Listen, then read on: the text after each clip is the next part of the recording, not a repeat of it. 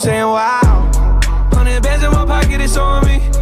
Yeah, your grandma gonna have one foot in front, whichever foot. You're gonna step with the front foot